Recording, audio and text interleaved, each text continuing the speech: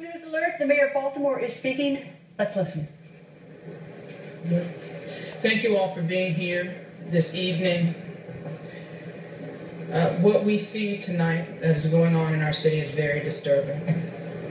It is very clear there is a difference between what we what we saw over the past week with the peaceful protests, uh, those who wish to seek justice, those who wish to be heard and want answers, and the difference between those uh, protests and the thugs who only want to incite violence and destroy our city.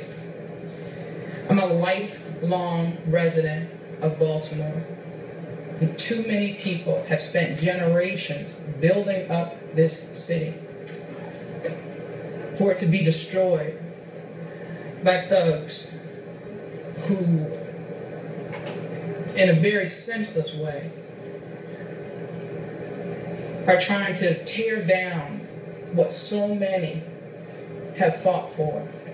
Tearing down businesses, tearing down, uh, destroying property, things that we know will impact our community for years. We are deploying every resource possible to gain control of this situation and to ensure peace moving forward.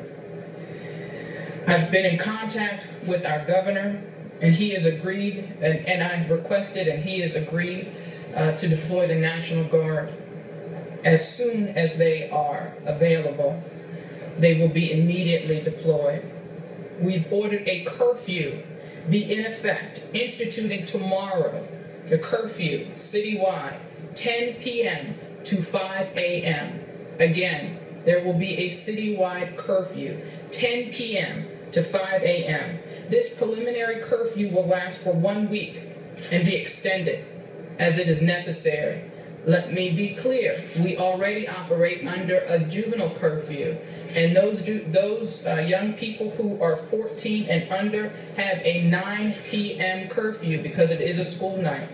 Over 14 is 10 p.m. That is tonight and every school night. Again, we have ordered a curfew to be instituted starting tomorrow, 10 p.m. to 5 a.m. And we've also activated the Emergency Operation uh, Center to be available to have a administration-wide response to uh, the incidents as they occur. I want to thank City Council President Jack Young uh, for being here. I want to thank uh, Councilman Brandon Scott uh, for being here. Also, Councilman Eric Costello. I want to thank uh, Keiffer Mitchell for being here on behalf of Governor Hogan uh, and for and uh, for all of your work uh, coordinating this response. Uh, I'm going to ask uh, Colonel D'Souza to speak, and then I will ask Council President Jack Young. Colonel.